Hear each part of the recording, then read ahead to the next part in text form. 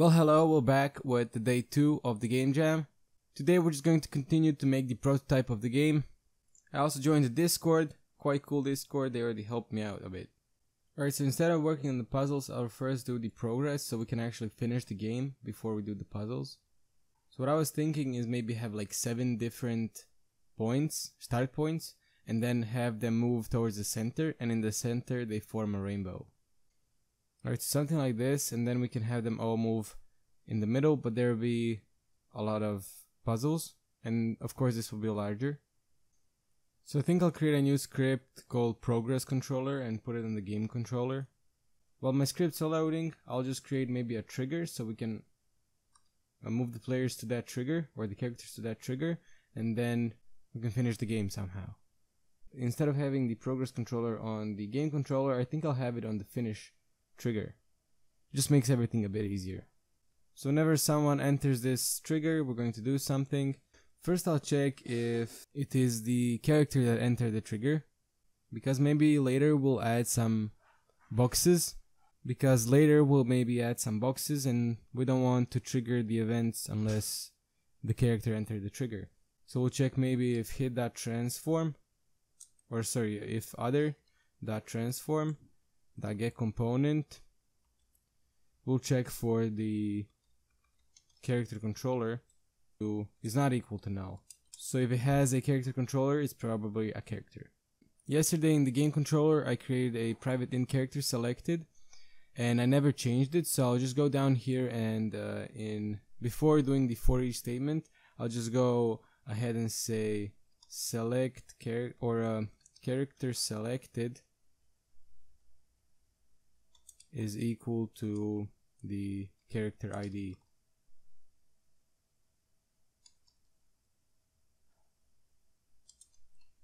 So now we know which character we have selected and maybe now we want to destroy the character whenever he enters the trigger.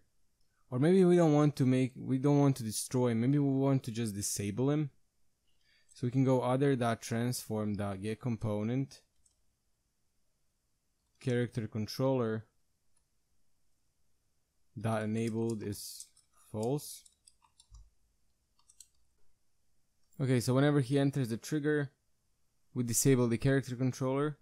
Instead of disabling the character, I think um, I can disable the player or the character movement. I think that's uh, much better. Maybe in here I'll create a array of uh, booleans. So I'll make serialized field a private boolean array that will be called progress. I'll make it a new boolean with seven variables.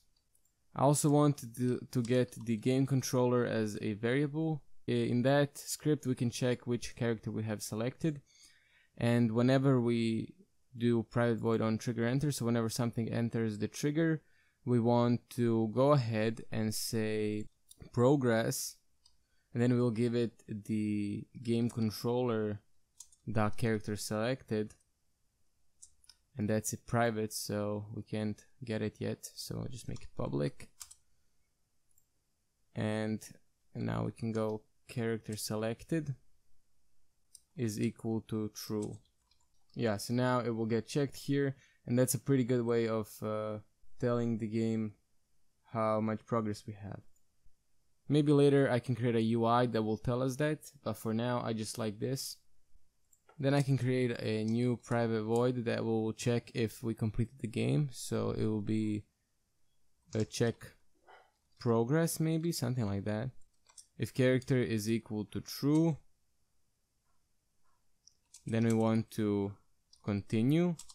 So we want to see if the other one is uh, true. Else so if it's not true then we just want to return and maybe print like uh, not all characters reached the final point or something like that. Doesn't matter we can always change that later and I forgot to call that every time we enter a trigger so I'll just go check progress I think we can maybe use a for loop for this. Okay, maybe we shouldn't check for that here. Okay, so I finally did it and I realized that I was uh, overthinking it 100%.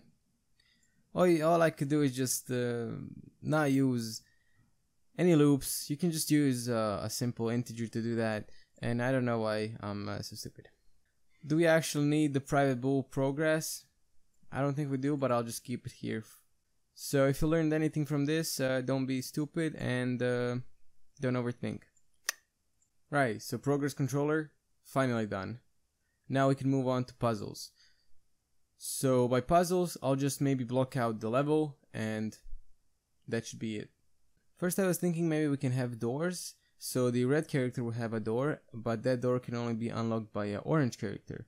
So the orange character will have kind of a pressure plate here, so he has to step on it so the red character can go through. We're doing maybe the door should have a orange material so we know like the orange player can change the, that door. And for the rest we can just maybe create like a gray material. Now we probably need a script to connect the door and the pressure plate pressure the then we want to open the door so we can go door dot open. And we should also create a private void on trigger exit.